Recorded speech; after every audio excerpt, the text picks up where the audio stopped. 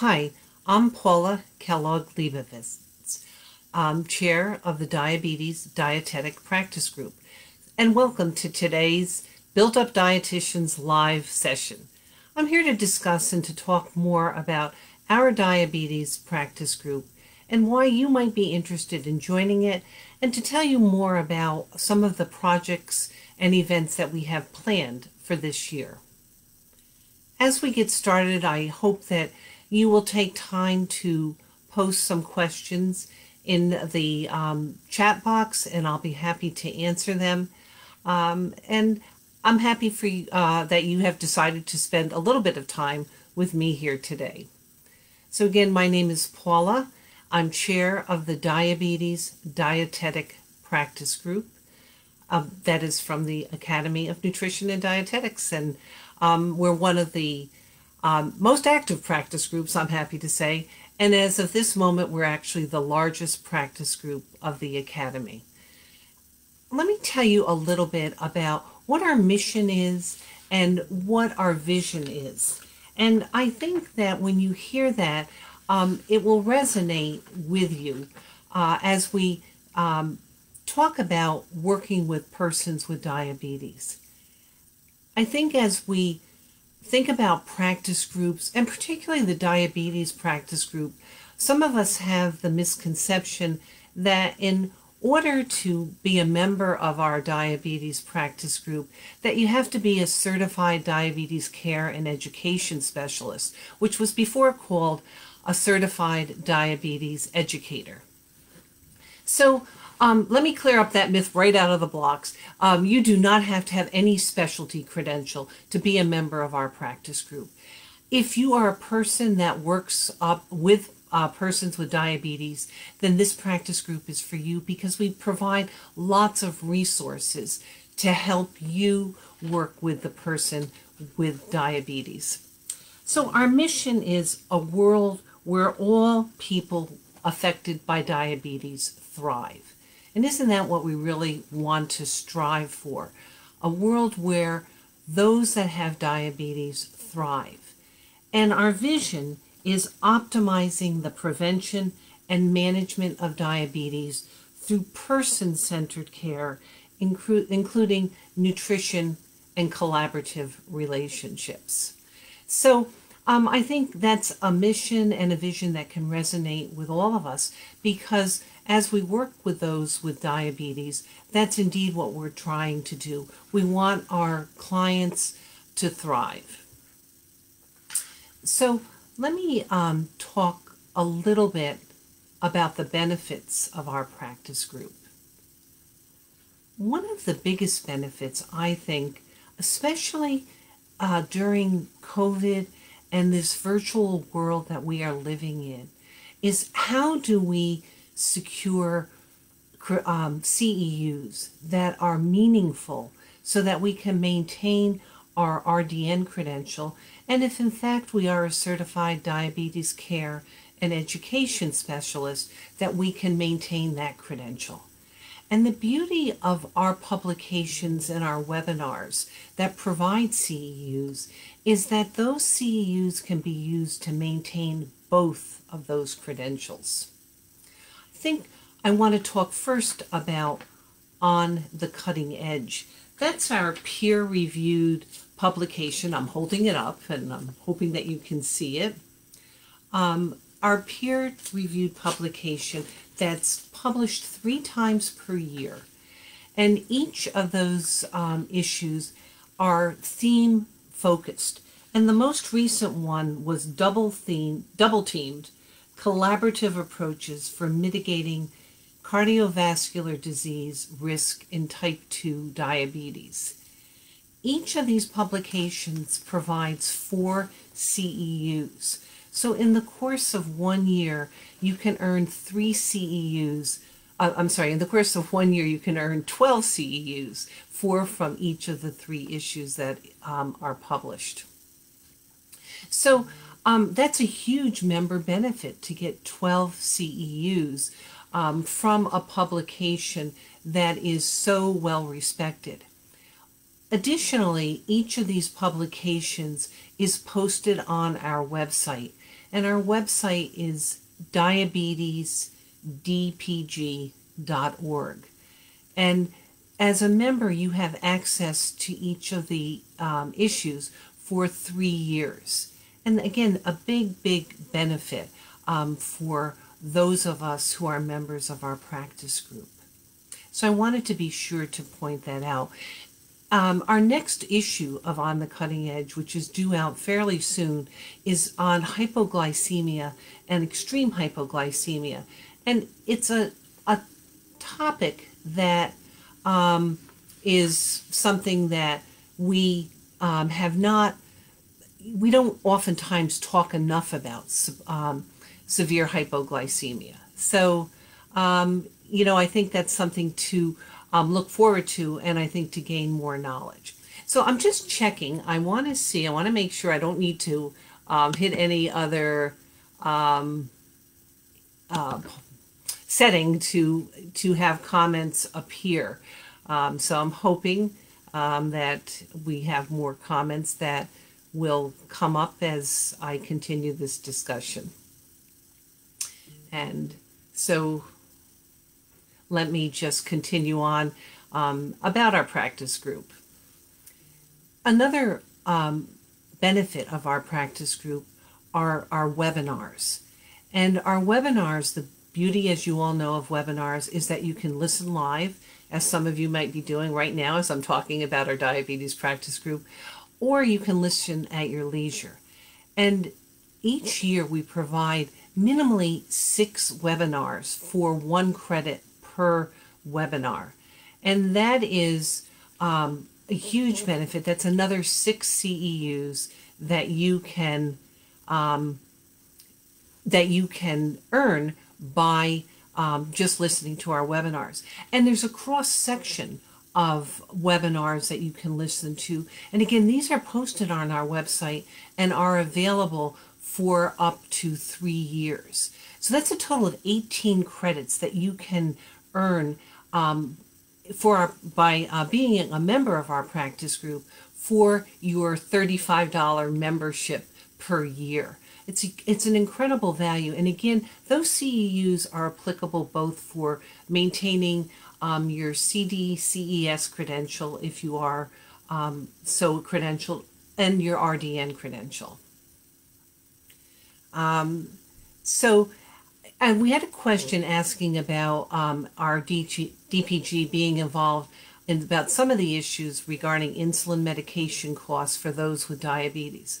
And I'm also um, pleased to say that we have been working with the Washington office um, from the Academy who continues to monitor legislation and um, information on this topic. And um, you know ask for our feedback. And we have an active um, pal or um, uh, professional oh my goodness um, i'm drawing a blank on what that acronym stands for but our pal and our reimbursement rep um, and our committee which we are working on putting together now are continuing to look at these issues that um, resonate with our clients because as we all know um, insulin and the cost of insulin is a huge issue.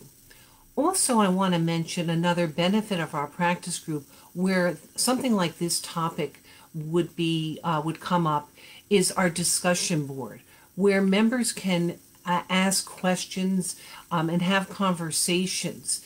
And this is often really uh, a rich resource for issues that are happening right now something that we might need a particular resource for. And we have an active discussion board. And again, those are posted and you can access our discussion board um, on our website at diabetesdpg.org. And so that's another resource where um, issues that are um, in the media, issues that pertain to our clients, are where there's an opportunity to have dialogue with colleagues that are perhaps experiencing the same concerns or issues that um, you might be experiencing. So um, I, that's yet another benefit of our DPG. Righty. So I'll continue to to talk, and um, I I know that um, sometimes it's it's difficult to to think of questions that perhaps are um, pertinent to um, an academy DPG or a diabetes DPG. Uh, so I'll continue to, to talk on. I've highlighted uh, three of our benefits are on the cutting edge, the peer reviewed publication. I've highlighted our webinars, our discussion board.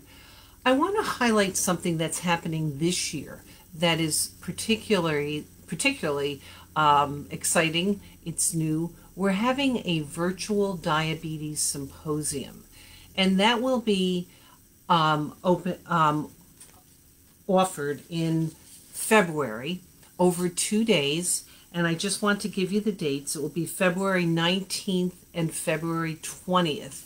And the time will be 1 p.m. to 5:30 p.m. Central Time on Friday the 19th and 10 a.m. to 2 p.m. Central Time on Saturday, February 20th. And that um, might be something that you will find very interesting. I know the speakers are going to be outstanding. And um, so look for more details. Look for more details if you're attending FNCE. Um, on our member showcase, we'll have um, more specific information. And um, I think, again, in this virtual world, the opportunity to attend um, a symposium that focuses on diabetes and the care for persons with diabetes, as well as um, being culturally sen- uh, sensitive and um, looking at diversity issues, which certainly has been something um, that's been in the in discussed on across all channels of the academy and across all channels of our um, our own media and, and world. Um, so please uh, take um, a glance and look for information on the virtual symposium. So the officers um, of our diabetes DPG, um, there was a question about that. We have a great um, group of uh, diabetes uh, officers. And if again, if you go to our website and you go to About Us and click down there is a listing of all of our officers and a little something about each of our executive committee. I'll let you know that um, Connie Brown Riggs is our immediate past chair.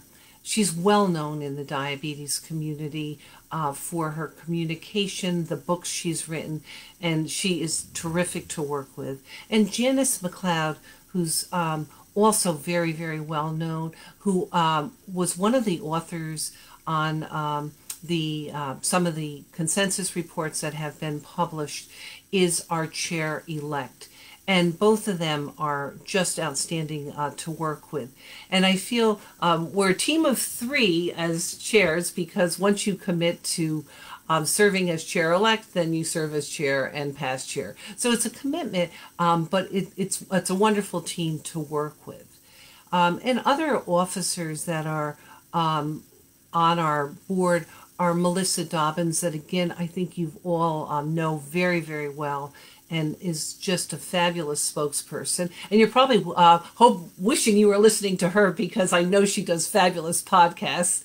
Um, so she um, is our uh, marketing and communications director and also an awesome person uh, to um, to work with. So she's been um, you know excellent to work with. Kathy Wong is our um, web web editor.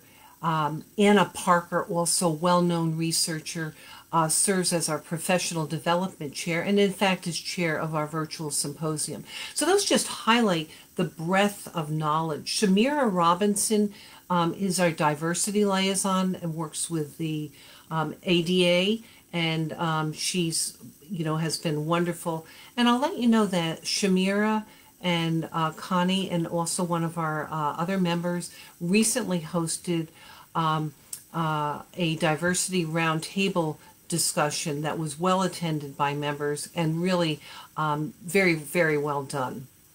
So I just noticing here, um, just to go back to Connie, Connie Brown Riggs did do a Facebook live chat, And so um, you definitely want to check in the video library to to see it and to check it out. She's um, she's a wonderful speaker and presenter, and has a wealth of knowledge, um, and also deals with um, information that sometimes um, maybe we don't think of. I'll mention one other person that um, most of you have heard, or maybe you've watched her YouTube uh, videos, Toby Smithson, and she um, is our social media chair. I just also want to highlight three of our members um, who have received um, recognition this year by our DPG. Our outstanding diabetes educator of the year, in fact, was Toby Smithson, and so she's well well deserves this recognition. Jennifer Okemah served as um, a past PAL and reimbursement chair, and she was recognized this year for our legislative award. And Jojo Dantone, who's at a past chair of our practice group, and a, as well recently completed a term as serving as treasurer of the academy, um, received our Distinguished Service Award. Each of those folks will be recognized at our at FNCE at our awards recognition and reception. So let me uh, send out an invite right now. Our awards uh, reception, our awards recognition and reception will take place on Saturday, October 17th at 5 p.m. Central Time for one hour. And um, this reception is open to all Academy members. You do not have to be registered for FNCE. You do not need to be a member of our practice group. It's open to all Academy members. Though I will tell you, should we get inundated, um, preference will be given to our diabetes um, practice group members. Let me tell you, so besides recognizing our award uh, recipients, we're planning to have a cooking demo. But the fun part of it is um, we are also planning to have a wine tasting and food pairing um, led by Jojo Dantone and uh, Jennifer Okemah. So I think that's going to be a lot of fun. I can guarantee you, I know them both very well. They are a lot of fun and they will definitely make it entertaining. Uh, so again, that will occur. Um, be a nice way to start and to kick off your FNCE. It will occur on uh, Saturday, October 17th, 5 p.m. Central Time. All of that information will be uh, published in um, FNCE information, or it will be. It's also will be on our website, uh, so you can look for it there. Alrighty. So just uh, checking to see if we have any other questions or um, comments that you might have about the diabetes DPG or why you think you might uh, think about joining it. So 18 CEUs per year, um, great discussion board. Another benefit I'll tell you about, which I haven't highlighted, are our patient handouts. Uh, and our patient education handouts, again, are posted on our uh, website. They're a great resource um, for uh, individuals who work with diabetes, which again underscores the fact that you don't have to be a person with, uh, you don't have to be a person or an RDN who has a CDE or is certified as a certified diabetes care and education specialist to benefit from our practice group. Patient education handouts when we're working with persons with diabetes are something that all of us um, can use and um, it's really great to have those resources. And as I said, that on the cutting edge, sometimes we just might need a tune up or need to understand more information. And something like the most recent um, on the cutting edge that dealt with cardiovascular disease and diabetes uh, in type uh, persons with type 2 diabetes is a, is a great resource um, to just read through, get your four CEUs, but also to make sure that you're up to date on information because we know how quickly information changes. Alrighty. So I think I'm going to call it, wrap it up. Um, I, I hope that I've um, answered your questions, or if you have any questions, um, my contact information is on um, the diabetes website, uh, the Diabetes DPG website. I'm happy to answer any questions that you might have or refer you to the um, appropriate person to answer uh, any questions. So I invite all of you to take a moment to visit our Diabetes DPG website at www.diabetesdpg.org. Take a glance at it. Um, you can click down while the On the Cutting Edge is available only to members, you can click down and see the various topics that are there, and you can also um, have access usually to at least one article in the most current edition. Click down and see web, what webinars are uh, available. So take a moment to visit that our website at diabetesdpg.org. I hope that you'll take a moment and um, you know, FNCE's going to be, it's a whole new world this year. I hope that you'll join our virtual awards recognition and re- uh, recognition that um, re- our awards recognition and reception, I'm sorry, that will be held on October 17th at 5 p.m. Central Time. Um, it should be a fun time. Um, take a chance. Come in. What do you have to lose? If it's the worst thing in the world, you can always sign off. But take a moment, register um, for it, and I hope that you'll see us and uh, and join us uh, for that uh, reception. I also, um, if you are registered for FNCE, I hope that you will take a moment to visit our member showcase. The member showcases will be 12:30 to 2:30 Central Time on Monday, October 19th, and that um, member showcase is um, unopposed, so there won't be any other activities that will be going on at that time. Take a minute, just peruse it, see what's there, what's available. Um, so I hope that you'll do that.